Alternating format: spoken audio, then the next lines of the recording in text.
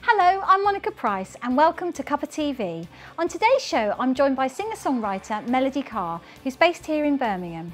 I'm also joined by Barry Tomes from Gotham Records, who talks to us about the record industry and what's happening in it.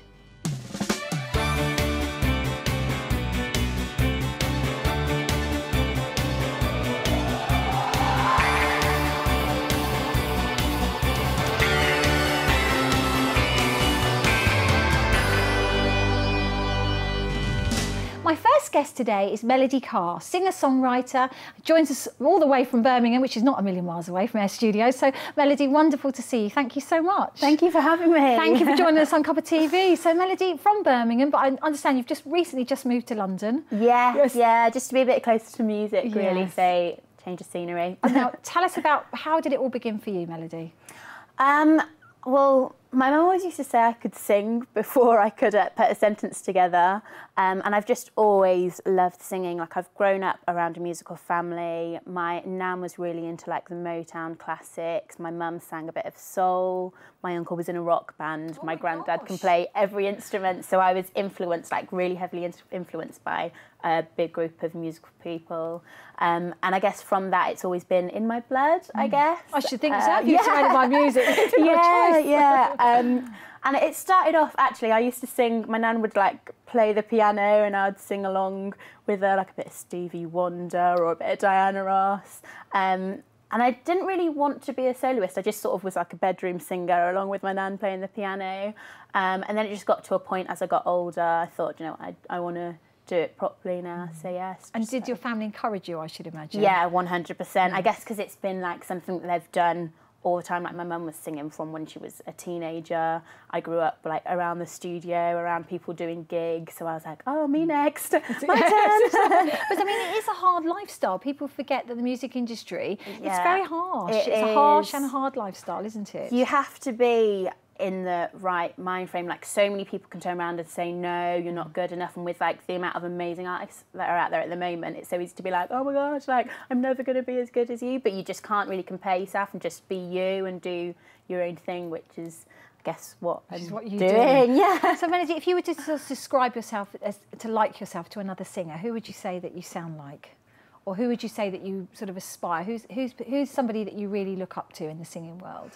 Um, my sound is very much Motown, so I guess from my nan's sort of inspirations, I love a bit of like Diana Ross, The Supremes, Stevie Wonder, Dusty Springfield, but then can't I love a bit of Beyonce as well. Like I grew up listening to Destiny's Child, so I guess I've, I'm taking like a bit of modern music and making it a bit, mo- sorry, Motown, making it a bit modern. And so. is that what you're doing with your, with your songs at the moment? Yes, yeah, yeah. So um, the sort of vibe is like a modern Motown esque type.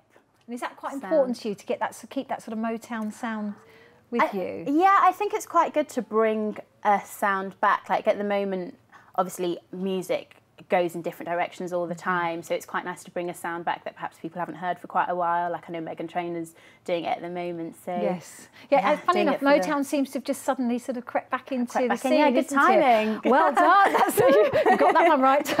yeah. so Melody, when you're when you're because you write as well, don't you? I but you perform yeah. songs with other with other people. You perform other people's songs, I should say. Yes, That's right. at the don't you? moment. The second single I did sort of uh, co-write a little bit with. So, but yeah. And do you like that as well? Do you like writing the songs? I love writing. Yeah, there's so much Mm. to write about. Like I take inspiration from everything. Like I'll be at the train station and I'll see something and be like, oh, that could be in a song. Yes. So yeah. Do you have your little notebook with you all the time just to write Uh, I've got. I record on my phone. Oh, do voice you? notes. I'll be like, if I have like a melody, I'll be like, mm. that's, that's me so old fashioned saying, would you take a little notebook? No, I record To be it. fair, when I'm it, yeah. writing, I do get my pen and paper Yeah. out. yeah. I was going to say, when you write, do you do you do it on a computer or do you Pen, and paper. paper? Yeah, it's interesting. I'm not a typer. Yeah. can't do it. There's a lot of writers though, authors as well. They still go to pen and paper, Yeah, even though we've got all this wonderful technology, uh, you know, amongst us. It's easier, and when you go wrong, you can just scribble out rather than being like, oh, Mm. Yes. backspace. yeah. And so you take your inspiration really then from everyday life. Yes, yeah, everyday life and everyday occurrences. And everyday sort of genre, like all genres as well. so when you were growing up, when did you first sort of uh, start? Did you study music at school or anything like that? Um, No, I the first time I really got into singing, obviously I sang, as I said, like Yes, along with my yes. nan. I then uh, was a member of Birmingham Community Gospel Choir Wonderful. from like 16 until I was about 18. Um, Oh, tell us about that. so it was just like rehearse every Wednesday. My mum got me into it because my mum, um, obviously quite solely, and she's in on the music, so she found out about it. Um, and we did like quite a few little gigs from that, and I think that's when I started to become more confident because obviously I was a bedroom singer with my nan to singing, yeah, to singing like with a big group Yes. of people with strangers at first, which can be quite intimidating. But then obviously I lo- sort of found my voice even more so then. And did you enjoy doing the gospel? Oh, I singing? absolutely loved it. Yeah. Yeah. I mean, again, again, that's a real soulful Yeah. sound, isn't it, to have Yeah, a gospel choir? Is it something you still continue to do? Um, uh, Would not so like much. I would, yeah, I, I love doing it. I still sing like at church every now and then. Yes. Like it's my aunt's wedding soon, so I'm singing for that. Um, but yeah, like I would never rule it out. But I guess now because I'm focusing on like my melody, like Melody Carr solo stuff. So. Maybe in the future you could Yeah. join forces with a gospel choir and, and Have, like, a and do- massive gospel choir Yes, backing. Wouldn't that be yes, amazing? I'll be there.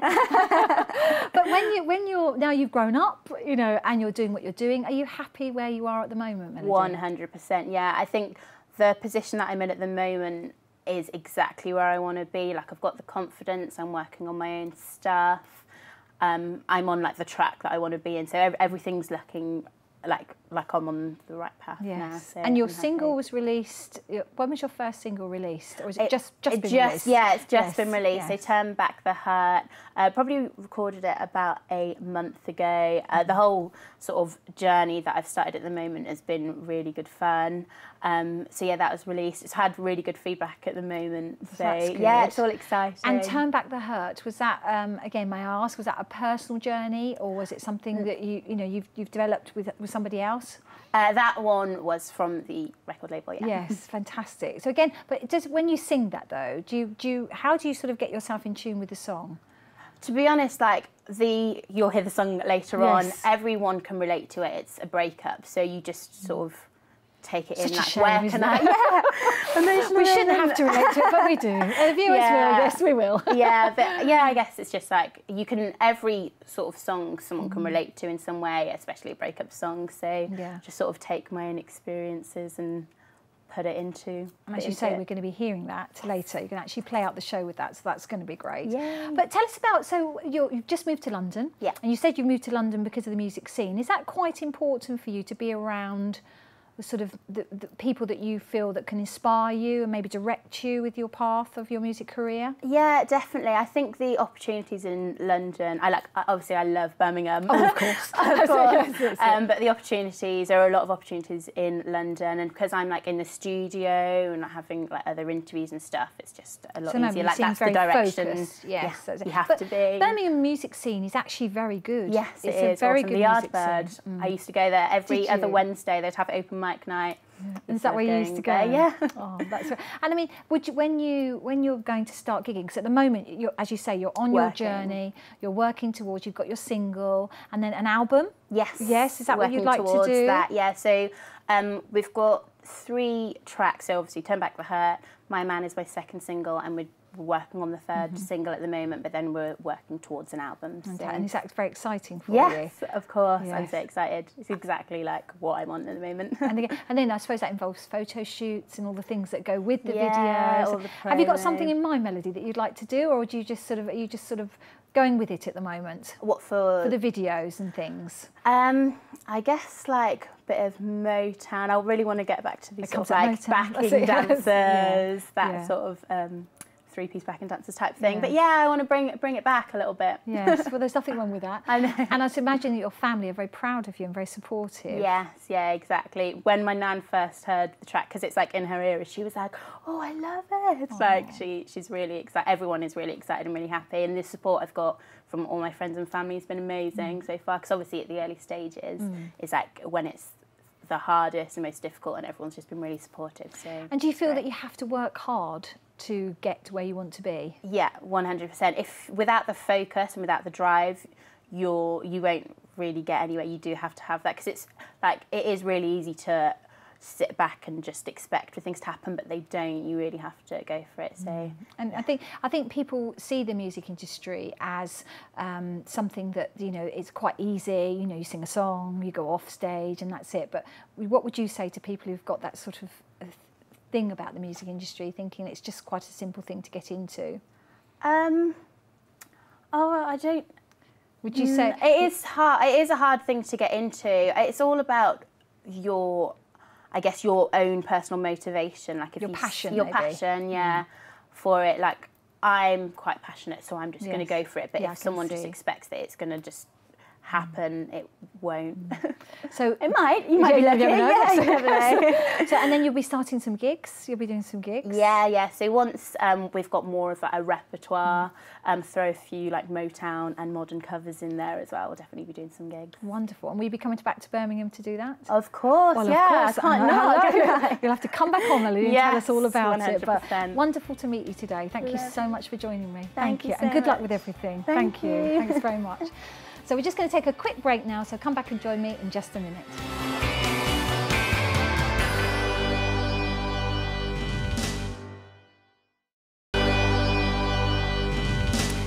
Guest is Barry Tomes from Gotham Records, an independent record label based here in Birmingham. So, Barry, welcome to Cuppa TV. Not a stranger to Cuppa TV, No, I not a stranger at all. Lovely to see you though today. You too. And to talk about really the record label and the music industry in a whole. So just tell us a little bit about more. Well, you know, I do. never stick to the script, don't you? No, I know that. Did you know that Alfred from Batman was born in Birmingham? No, the I butler didn't. from Batman? No. Absolutely. People assume that I made the Gotham record name because of Batman. I never did, actually. It was just somebody made a suggestion. Mm-hmm. And obviously they're connected to Batman. But yeah, Alfred, Batman's butler from Kings Norton in Birmingham. Really? Yep. There you see Gotham Records. There you go. So, So- how long have you had Gotham Records, Barry? Uh, about 27 years. and you've seen many changes, I would have thought, during It used that to time. make money. Yeah, used to make money. Remember that? Yeah. Them good old days. Yeah, a lot of changes really. I started the label because I'd worked with all the major labels like EMI, RCA, BMG, Virgin, all of those, and I'd had artists signed to all of them over the years. And I quickly realised that when you had a record out, you were the flavour of the month. You could go in and out the building, and they sent cars for you and put you on planes. But when your record was no longer out, they didn't talk to you for three months. So of course, as an artist manager, that's quite frustrating. So there was that, and a couple of other reasons I decided to start the label. And when I started the label, I didn't quite know what we were going to do. And uh, I think the first shock was when I recorded my first song, and this is back in 1987. And we recorded a song, cost twelve thousand pound. Now that's quite a lot of money then. Hmm. I mean, it is now, but it was Yes. a lot then. My sister bought a house for twelve and a half thousand pounds, a terraced house, So- which she still has, which is worth eighty-five thousand Yes, I was going to say that'd be worth a lot more. Yeah. and the cassette that they gave me for Yeah. recording a song for twelve thousand pounds never seen the light of day. Nobody liked the song. Really? Yeah. So does that often happen? You can spend money on on a artist and then just nothing ever comes of it. Yeah, I've got at least two artists, uh, probably more, but at least two that come to mind that have both cost me just about forty to fifty thousand pounds, and never made a penny from them. That happens. I mean, that does happen. But that Um, must be more difficult for an independent record label though, because obviously it's your label, it's your it's your money, it's your whereas a bigger company maybe can swallow up that cost, but as an independent, is it more difficult? Yeah, because it is your 50 grand. I mean, I wouldn't sold my Range Rover because we lost a deal in Spain and we were worried about losing the master recordings. And I sold my Range Rover to pay for it. And uh, the company in Spain went bankrupt and we never seen them. So I finished up with no master tapes and no Range Rover. That's so not I'd been a record company boss. Yes. sounds elegant and it sounds good. And it is. I kind of like having a record label, but Yeah. I think these days it's more my favourite personal jukebox because if I want to release a record, um, I can release a record within 48, 48 hours now. so how does it work, Barry? Tell the viewers how it how it actually works. Well, how it used to work when we had record deals was you, as a manager, you get the artist a, a contract, and then the record company, back in the 70s and 80s, they would pay probably £25,000 advance for a single. And if you're doing an album with them, it could be a quarter of a million pounds, even more, you know. Um, so they would put the money, and then you'd spend that money, you'd record the songs, they'd send you around the world on Learjets. And then when the album sold, you found you had no money because it had all been spent on Learjets and going around the world. So the advances sounded great. You got this money. It sounded really, really good. And you have got a quarter of a million pound advance. Um, and you'll often hear now on the X Factor the winner gets a £500,000 yes, record. it sounds a, a huge amount of money, isn't They it? probably it get they probably get ten quid because actually everything gets spent on the label. So And then the artist would get, I'm saying roughly about a 10% royalty, maybe 12% if you were generous. Michael Jackson would have got 18 to 20%, but he was one of the few that got that sort of royalty. So you lay out the money, you make the recordings, you take the pictures, you do all of the design, and you take all of the risks in that.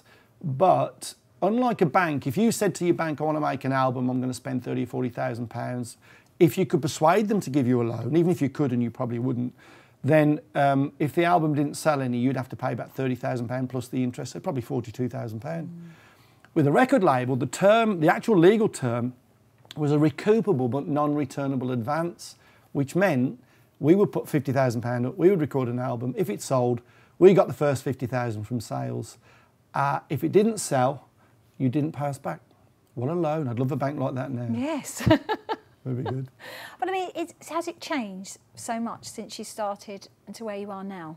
Well, yeah, record companies don't make money anymore. That's, that's the bottom line. I mean, the big record labels, um, I fear for them in 20 years' time because big record labels now, uh, they still make money by selling the Beatles, a band that broke up 50 years ago, and the Beach Boys back catalogue and you know, Neil Diamond's 52 albums or Rod Stewart's 120 albums. So in 10, 20 years' time, they won't have those back catalogues because albums and artists are not so prolific now. They don't make as you know. U2 bring an album out every three years maybe, whereas you know uh, in the 70s you had two or three albums a year. Um, so you that's how they make money still by having the back catalogue. Independent label we don't tend to have a back catalogue.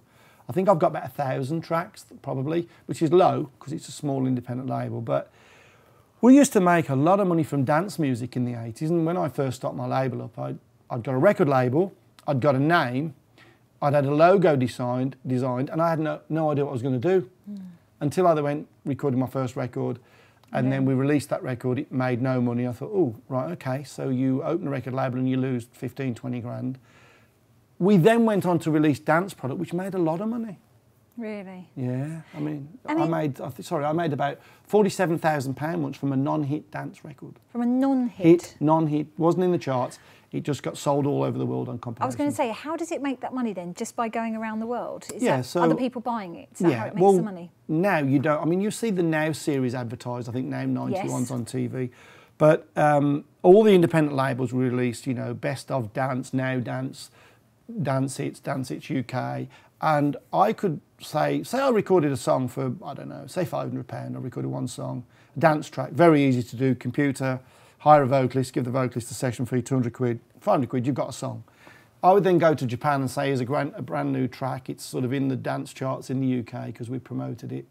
And then they said, well, we'd love to put that on our next compilation. We'll give you $2,000. Thank you very much. And the contract was actually a non-exclusive one-use agreement. So they could use it once on one compilation, but it wasn't exclusive. So we could often have the same track on seven compilations in Japan. Really? 15 compilations in Germany. And that's how we made money because each one would be something like probably £250, £500, $1,000, 2,000 euros. And you add that up around the world in 30 or 40 yes, countries, and before you know it, you're banking money. But no, that's, that doesn't happen now? No, somebody come out with that iTunes thing, stole all the money. I blame iTunes. But, um, so it doesn't work now. I mean, we, we, we've had to find other ways of earning income because I won't give up my record label. It's a passion that I have.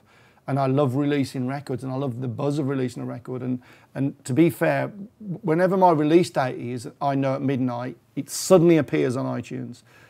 Every single time I've got a release, I will just after midnight, I'll go to iTunes and I'll buy the first copy yeah, you then do? you know it's worked. It yes. means you've found an artist, you yes. love the artist, you recorded a song, you uploaded it to cyberspace, wherever that is, yes. and it came back to you. But did you know that you don't then own that download?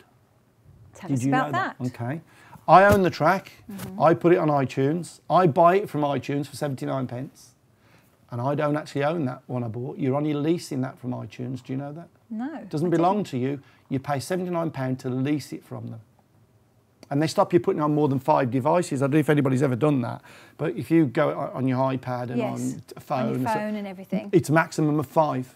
I didn't know that. Yeah, so you don't actually own your own recording that you've given them to put up there. So. There's something a bit wrong with that. yeah, like I said, us poor record companies can't, can't afford a decent shirt. Yeah. I mean, why do you think think that lots of artists now they, they put together compilations, don't you? That seems to be quite popular now. Lots of artists, even young bands that have just started, maybe only been going for maybe a year. Yeah. You'll often see them have a collection album come out. Is that just the way to make money? Is that how it works? It, you know, it, it's kidology. It's like the greatest hits album. Mm, yes, the and, greatest And I hits, the know so of. many artists got the best of and the greatest hits album, and the best of is definitely not the best. And the greatest hits is there's been one record that's kind of interesting and some know about, and the other nine nobody's ever heard of. But if you call it the greatest hits, it's kidology. People buy it. is that why? Is that what it is? EPs are the popular thing, funny enough. You'll Yes. find that most bands now were releasing a new EP, five songs. Why release a 13 track album that's a concept that you, you as a writer sat down and went, mm. I've had an idea, this album is going to be about trees and leaves and autumn and, and, and evolution. So you write the songs, and each song means something, and each track develops. Then you put it on iTunes, and somebody can buy track nine. So they, they come in in the autumn of the thing, and they don't really know the story. So EPs seem to be the most popular. Yeah, lots of new Hmm. artists. I mean, we've had lots of musical artists, you know, on Cuppa TV, and it's always about EPs. Hmm. Got a new EP coming out, I've got a new EP. So for those that just don't know what EP is, what does EP It used to say extended play. Right. It used to be T Rex, who I was a big fan of. When you had an A side and a B side. Yes. Okay, that was you always had that because because you I had don't two remember sides. that, oh please, excuse me, viewers, please. Uh, so for the benefit of Monica, who's never heard I of an. A and a B side, you had a vinyl, you had an A side and a Yes. B side. Yeah. Uh, now you don't. You have the release, but you have the remixes because that's another way of making money Yes. if I release a song and I do 15 remixes, if I've got a fan base of just a thousand people, they will buy all 15 mixes. And each mix counts as a sale towards the chart. So one person will be buying 15 different mixes. As long as the mixes are different names, they'll count towards the chart.